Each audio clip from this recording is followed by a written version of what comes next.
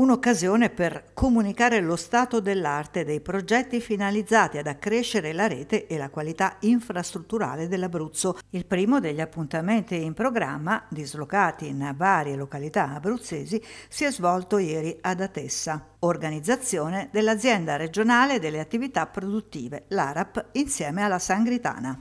Dobbiamo raccontare quello che dovrà essere perché l'ARAP insieme alla Regione Abruzzo ha una visione di sviluppo e questa visione va eh, condivisa con le imprese perché spesso manca la comunicazione.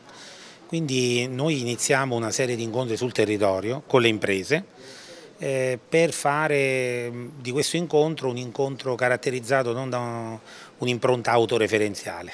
Eh, l'obiettivo qual è? È quello di aumentare i servizi per le imprese. Oggi si parla di competitività si parla di PNRR, di investimenti nazionali, di investimenti internazionali, spesso in questi frangenti, sui filoni dei finanziamenti ci si scorda dei luoghi dove si fa impresa, cioè delle aree industriali. Al sud, con l'impostazione che è stata data eh, praticamente circa 40 anni fa, quindi con i nuclei industriali in cui risiede l'80% del tessuto produttivo eh, industriale del centro-sud, e noi abbiamo la necessità eh, di sancire qual è il patto verso le imprese, il patto col territorio perché quegli investimenti ormai sono lontani, c'è bisogno di nuovi investimenti perché l'ICT, le strade, l'illuminazione, la depurazione, l'energia eh, non possono diciamo, pensare a quello che è stato, devono pensare ai nuovi progetti che poi rendono competitivo il territorio e, e rendere competitive le aree industriali significa